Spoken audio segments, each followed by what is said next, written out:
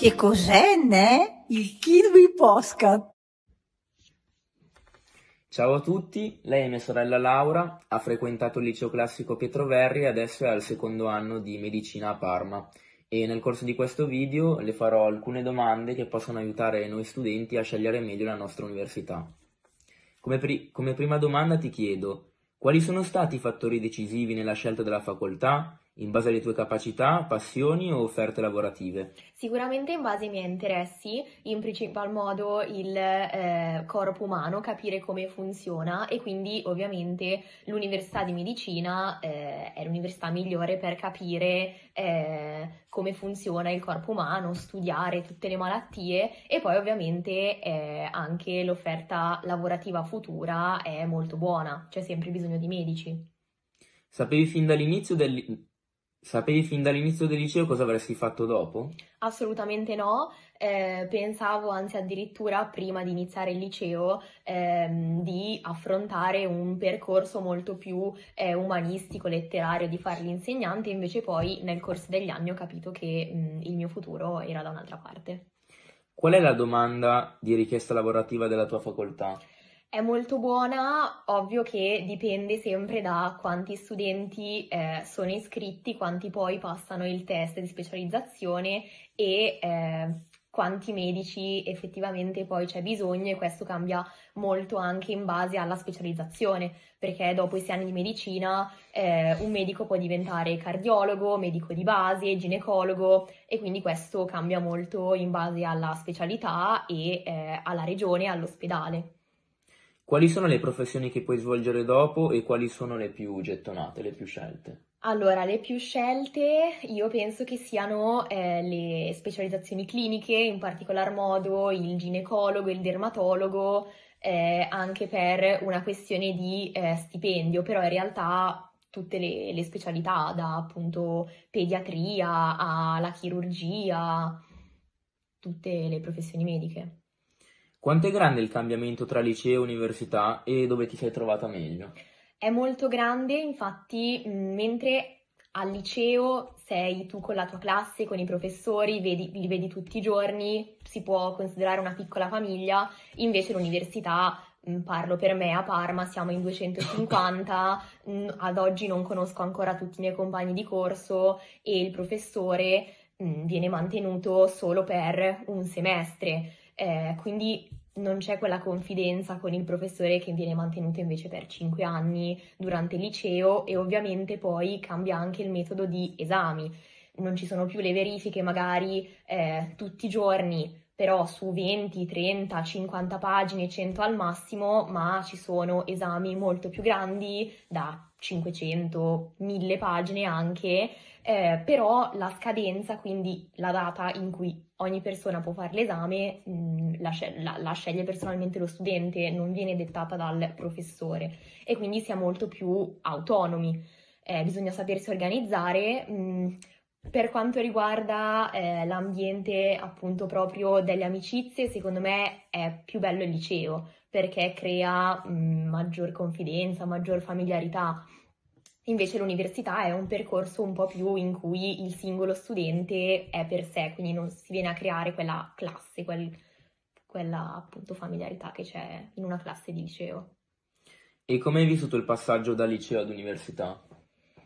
Ma allora, bene, mi sono adattata, ho trovato il mio gruppo di amici, so organizzarmi, quindi l'importante è l'organizzazione, studiare tutti i giorni e mi sono trovata bene, sì.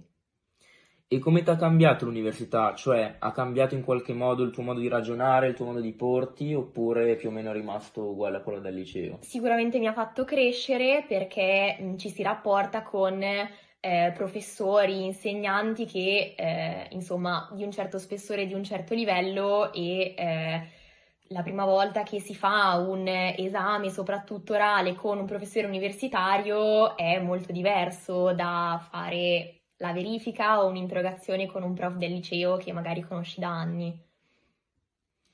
E secondo te come fa una persona a capire di aver sbagliato questa scelta, cioè di aver sbagliato università?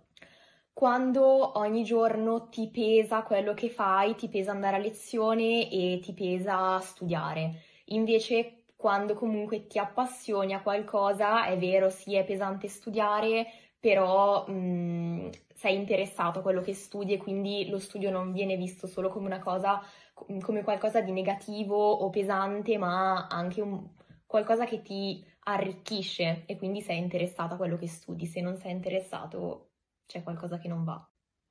E come ti sei preparata per il test d'ingresso, anche se forse adesso ormai non c'è più il test Cambia. di medicina? Allora, eh, lo conosco molto bene perché l'ho fatto due volte, non sono passata al primo tentativo. La prima volta ho deciso eh, di prepararmi con Testbuster. Ho fatto una settimana di teoria in cui quindi mi venivano spiegate tutte le materie e una settimana di esercizi e quiz e test. Ehm, nonostante questo e nonostante avessi studiato molto, ehm, forse venire da un liceo classico mi aveva fatto avere una mentalità eh, un po' troppo umanistica e non molto scientifica e quindi nonostante comunque non avessi fatto un punteggio basso non sono riuscita ad entrare e il, test, il giorno del test soprattutto mi sono fatta prendere dall'ansia e due crocette cambiano la vita. Invece il secondo anno io mi, che ho, ho riprovato il test, io mi sono iscritta al al corso di biotecnologie, quindi ho frequentato un anno biotecnologia a Pavia e fare questa università, quindi affrontare esami come biologia, chimica, matematica, fisica mi ha aiutato tantissimo e infatti poi sono passata.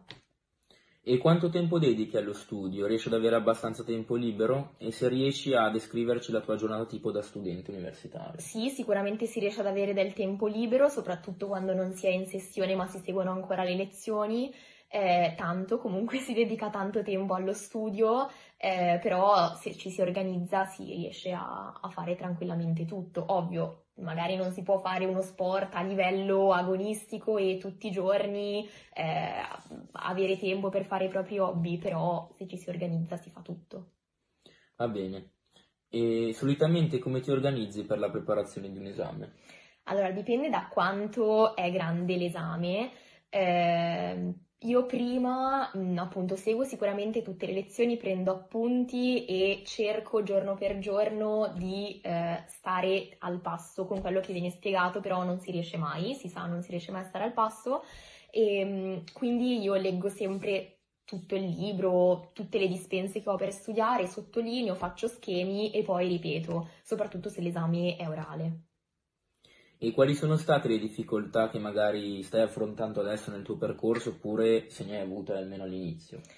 Sicuramente cambia la mole di studio e cambia la grandezza degli esami. Si passa appunto dal liceo in cui magari la, una verifica grande era considerata una verifica di 100 pagine, 150 pagine e eh, adesso ad esempio mi devo trovare un esame come fisiologia che sono 20 CFU e sono letteralmente mille pagine da studiare con nomi specifici e quindi ovvio che si è spaventati, è molto difficile e pensi che eh, la memoria non riesca a farcela, però ci si allena e, e ce la si fa, però eh, questo secondo me è il vero cambiamento, proprio la grandezza degli esami. E come ultimissima domanda, Sceglieresti di nuovo questa università oppure cambieresti? Assolutamente sceglierei ancora questa università perché eh, mi interessa proprio. Sento che quando studio sono felice di quello che sto studiando e sono appassionata. Va bene, grazie mille per la tua testimonianza.